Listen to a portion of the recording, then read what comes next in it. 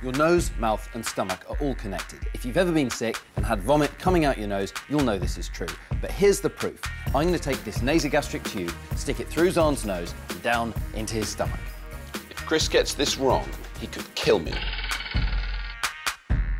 He could drive it up into my brain or down into my lungs. So we can only do this because we're doctors. Now, nasogastric tube means nose-stomach tube in Latin.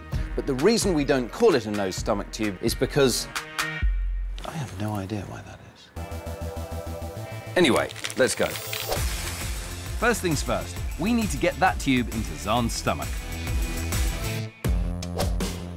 These tubes are used in hospitals to feed patients who are too ill to eat normally.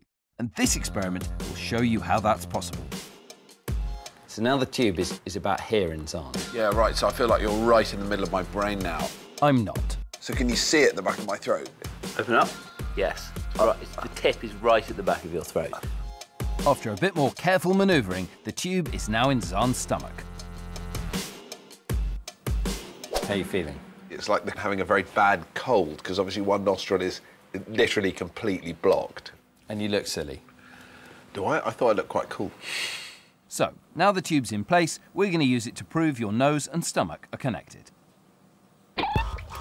First, I'm going to drink some blue milk, and next some yellow milk.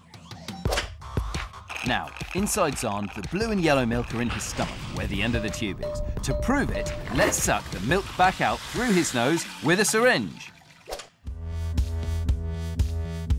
We've got yellow and blue stripy milk.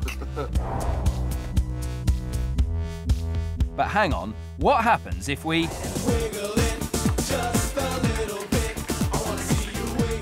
Nice move, Xand. And the milk has turned green. So, we've shown your nose, throat and stomach are all connected. And this means if a patient's too ill to swallow, doctors can use a tube like this to feed them. But it's not nearly as nice as eating your food yourself, is it, Xand?